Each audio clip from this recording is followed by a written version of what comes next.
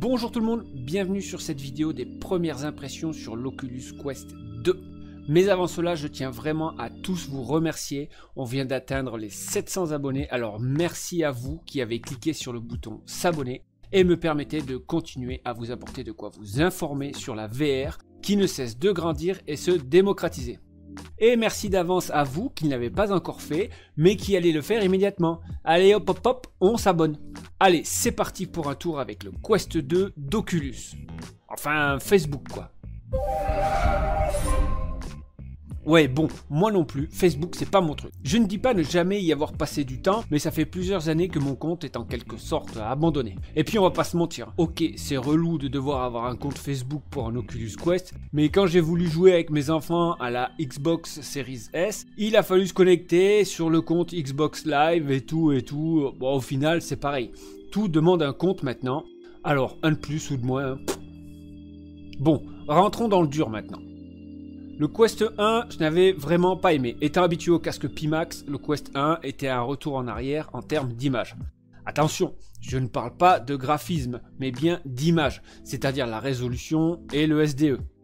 L'aspect autonome du Quest était évidemment indéniable et déjà une grande qualité, et personne ne peut lui reprocher ça. C'était ultra pratique. Mais ce n'était pas l'atout majeur que je recherchais. Je voyais tout le monde trouver qu'il avait une super image et tout et tout. Waouh, ok. Comme quoi, il faut se faire son avis par ses propres moyens. Et le Quest 2 alors? Eh ben le Quest 2, c'est la grosse claque. Parce que là, oui, la qualité visuelle est au rendez-vous. Je mets de côté le champ de vision. Hein. J'aime bien les Pimax pour leur champ de vision, alors ok, Pimax sont à la ramasse pour tout le reste, mais leur hardware est vraiment super. J'entends d'ici ceux qui se plaignent de problèmes, mais c'est normal. Tout le monde a des soucis. Les index avec les contrôleurs quand ils sont sortis, les sangles Elite Strap du Quest 2 qui cassent, etc., etc. Ça arrive à tout le monde. Le tout est d'apprendre de ses erreurs. Donc le champ de vision, c'est pas encore ça d'une certaine manière. Mais oh, c'est un casque à 349 euros neuf, tout compris. Le prix au pixel est imbattable là. Donc on va dire qu'on est dans un champ de vision standard. Mais niveau qualité de la dalle, c'est vraiment super. Le SDE est légèrement plus visible que sur mon 8K Plus et par moments même moins. C'est franchement sympa. Et je vous rappelle que le 8K Plus a les mêmes dalles que le 8KX. Quelle surprise Rien que sur l'image du chargement de la batterie, j'ai tout de suite vu que c'était au-delà de mes espérances. J'ai pas testé 36 jeux avec, par manque de temps, mais je commence à avoir un peu de route en termes de VR et je sais que c'est vraiment super majoritairement testé en mode Link avec un adaptateur USB-C qui ne passait pas en USB 3.0, c'était déjà superbe. Je n'ai pas non plus testé avec le Wi-Fi, mais vu qu'avec un USB 2 ça passait, en Wi-Fi ça doit le faire sans trop de soucis.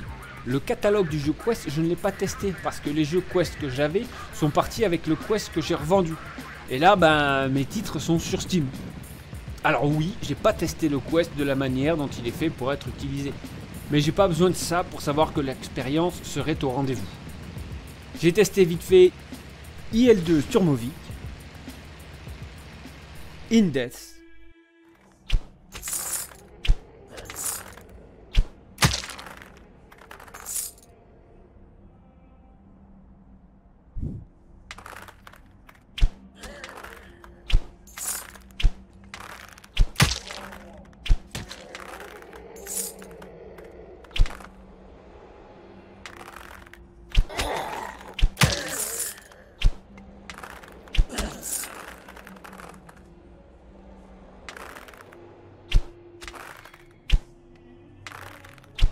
Automobilista 2.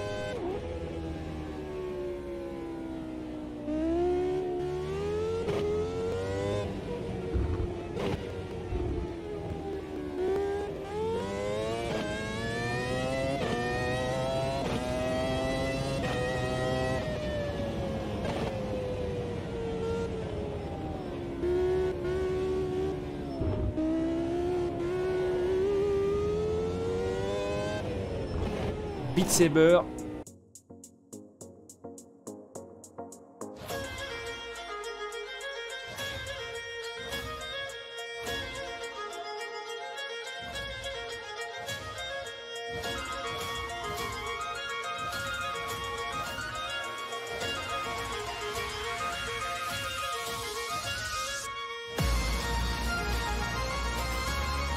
Shadow Legion.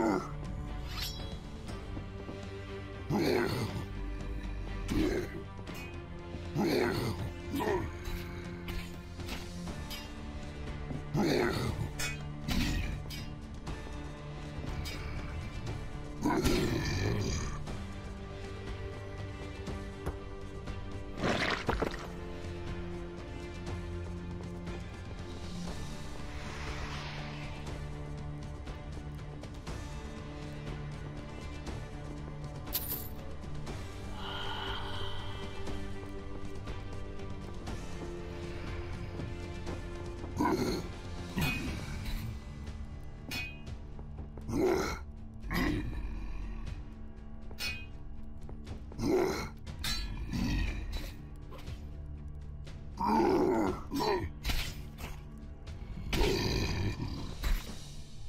Et Star Wars Squadron.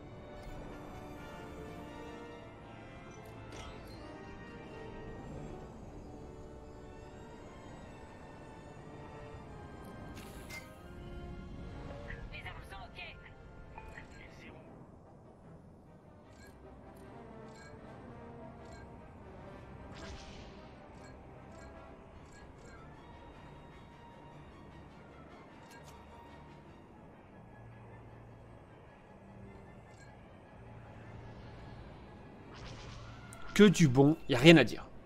Ok, peut-être le sweet spot est un peu difficile à trouver. Il faut bien penser à éventuellement incliner la sangle pour que le casque ait la bonne inclinaison. Mais une fois en place, vu qu'il est assez léger, il ne bouge pas. La sangle, tiens, bah elle est très bien. Et le son, ah le son, mais sérieux, le son est bon, juste bon. On n'a pas les coussinets de nos casques qui nous réchauffent les oreilles et nous isolent des bruits extérieurs, mais le son est vraiment satisfaisant. Sur Beat Saber, les musiques sont tout à fait agréables à écouter, tellement que par moments je zappais que le son était diffusé autour de moi. Et n'évoquait absolument pas un son nasillard comme on peut l'entendre par exemple, je sais pas moi, sur un smartphone. Non, là il est profond et doux. Bon, les contrôleurs, petits, légers et peu gourmands en énergie apparemment. Le tracking fonctionne super bien et faut bien avouer qu'au niveau ergonomie, tout se fait facilement. Le réglage du gardien par exemple, votre zone de jeu, est super pratique à faire avec la caméra qui filme votre environnement. En fait là on retrouve tous les aspects du Quest 1. Voilà, je vais m'arrêter là. Je pense que de toute façon, vous avez déjà tous vu des dizaines de tests sur cette Oculus Quest 2. En résumé, si vous hésitiez à l'offrir ou vous l'offrir pour Noël, eh bien, bah, n'hésitez plus. Ok, le champ de vision n'est pas au top du top, mais le reste l'est. Et oui, c'est vrai qu'on s'y fait, même en venant d'un Pimax. Encore une fois, on parle d'un système VR complet à 349 euros. Voilà, c'est la fin de la vidéo. Je vous remercie d'avoir regardé jusqu'au bout. N'hésitez pas à y laisser un pouce vers le haut si ça vous a plu et laissez un commentaire pour donner votre avis sur le Quest 2. Et pensez à vous abonner si ce n'est pas encore fait. Je vous souhaite de bonnes fêtes de fin d'année, un peu particulières cette année. A bientôt, c'était Ludix. Ciao